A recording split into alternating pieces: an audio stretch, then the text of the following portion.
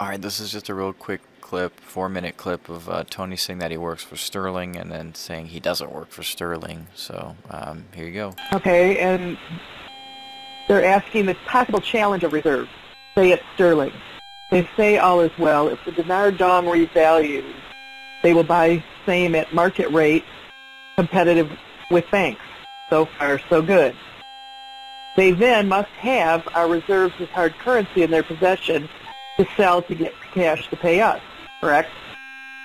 If they didn't, they would have to have many millions, if not billions, to pay out. You want to go into a little detail for that for them? I would if I knew what you said. you know what you said.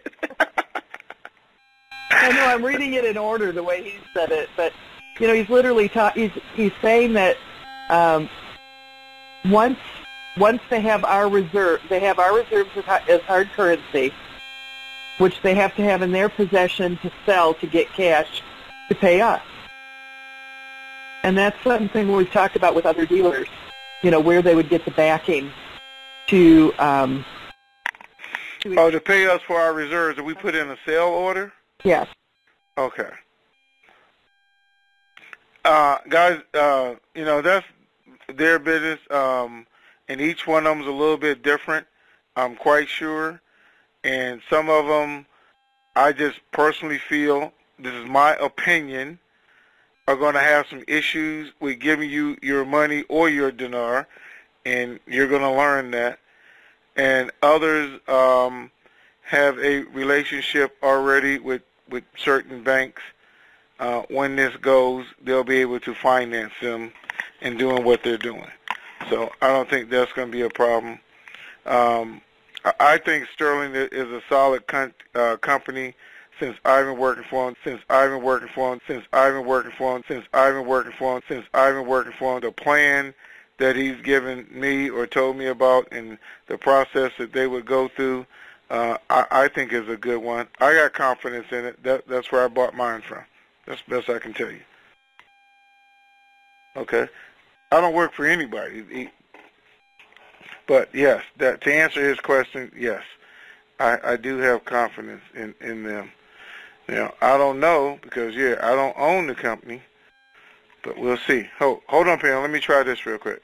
Well, let me see. Every time I do that and hit one of them, then it freezes up, and I got to wait for it to come back so I can go to the next one.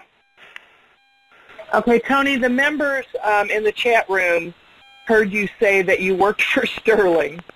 Uh, no, I don't work. Working for them. I was the first call. Okay, they heard me say I don't work for Sterling. None of them heard me say I work for Sterling. And I wouldn't have said that if my wife hadn't said, "Tell them you don't work for Sterling." Because I don't, because she didn't know what the question was. So, and everybody here already knows that, so I don't know that I got to repeat that anyway. And if I did work for them, they owe me three years worth of back pay. anyway.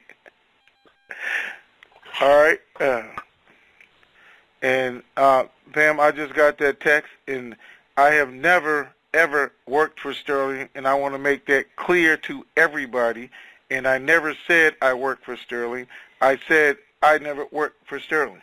I think Sterling is a solid con- uh, company since I've been working for him, since I've been working for him, since I've been working for him, just so everybody understands it. Oh, well, no, I didn't. I've never worked for Sterling. Never had a job for them, anything else.